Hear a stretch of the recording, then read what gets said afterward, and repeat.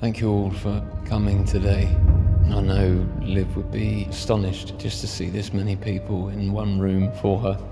Hey, buddy, can I get you a drink? Who are you? Lionel Flack, a man of many talents. All that weight you're carrying? What if I said I could take it all away? So, what are you saying? Consensual human consumption. So, you want to eat me? That is exactly what I'm saying. L'chaim! Over the course of our time together, my job is to make sure you're happy. And at any point you're in pain or discomfort, you just need to let me know.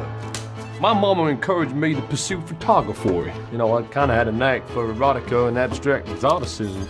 You ready? How do you feel? Lighter?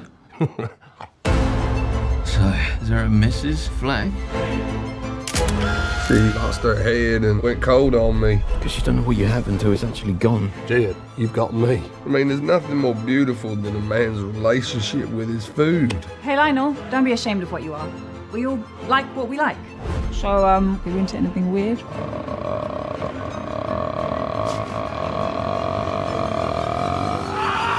I like skin. Crispy chicken skin? I know what you mean. Ladies and gentlemen, we have a beautiful baby boy.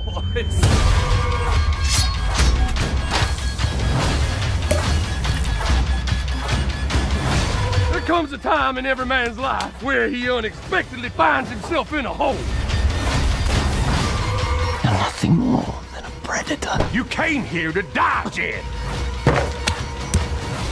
You are a coward.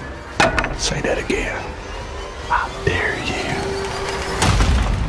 This is the best veal I have ever tasted. This is not veal. This is Michelin star veal.